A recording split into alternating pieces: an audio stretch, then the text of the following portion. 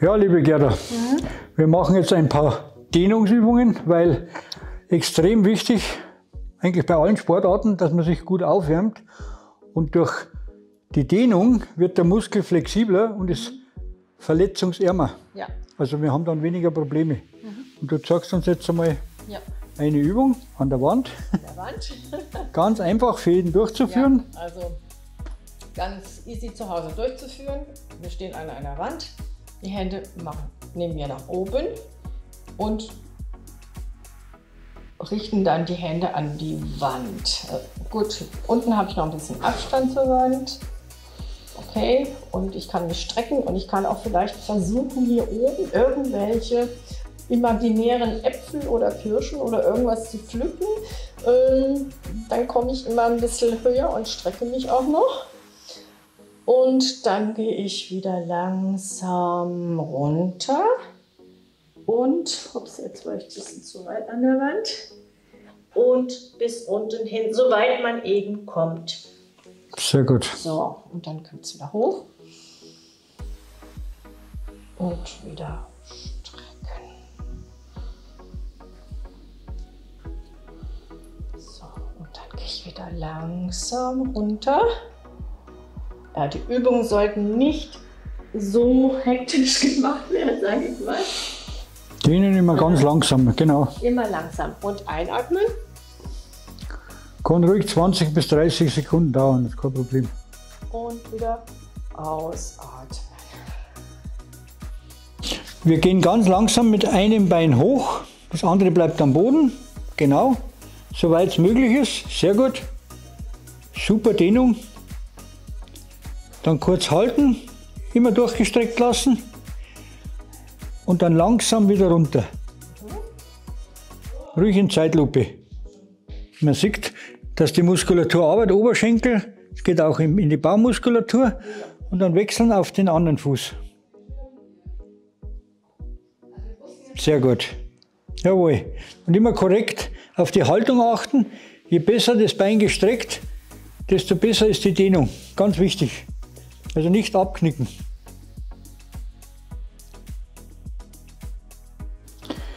Also wir haben jetzt noch eine Dehnübung.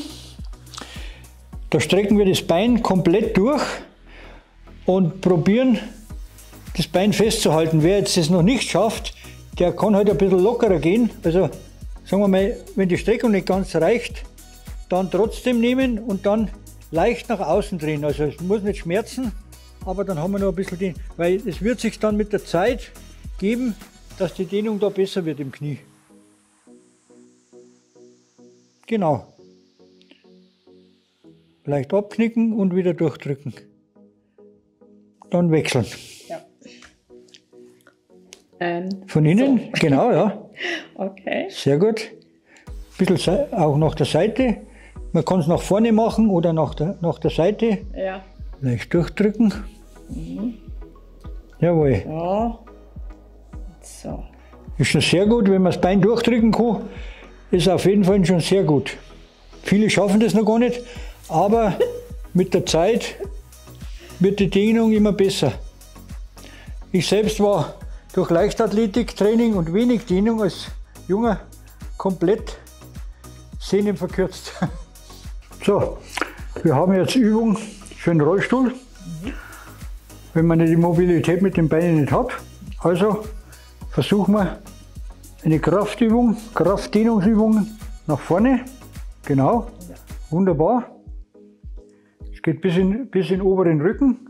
Wir haben da Spannung, bis nach vorne auf Spannung bleiben und ich würde mal sagen 10, 15 Sekunden halten und dann langsam wieder zurückgehen.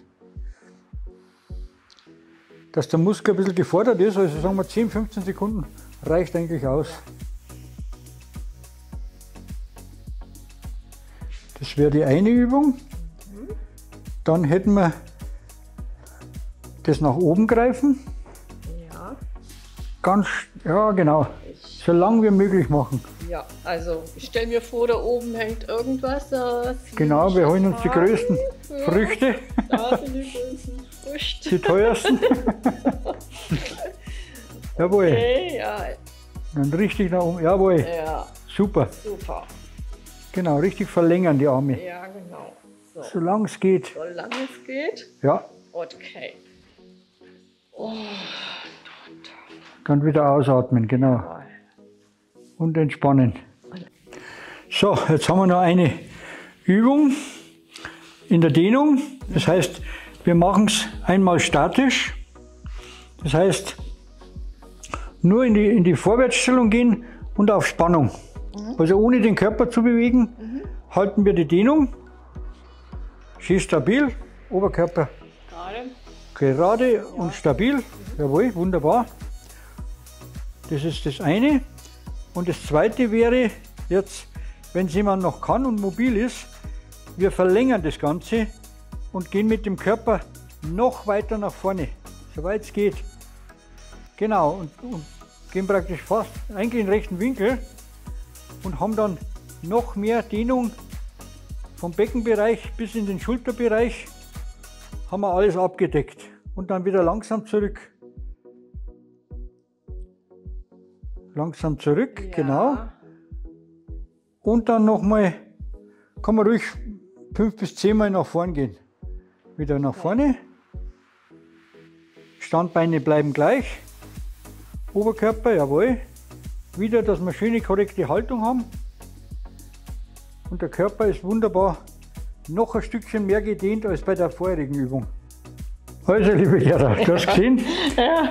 das waren jetzt einige sehr gute Dehnübungen, die man immer regelmäßig vorm Training machen sollte. Auch nach dem Training ist es möglich, wenn zum Beispiel wenn man lang, einen langen Lauf hat, nur als Beispiel, mhm. dass die Muskulatur wieder gedehnt ist. Aber dehnen verringert die Verletzungsanfälligkeit die Anfälligkeit extrem. Okay. Wir Wunderbar. wissen Bescheid. Gut.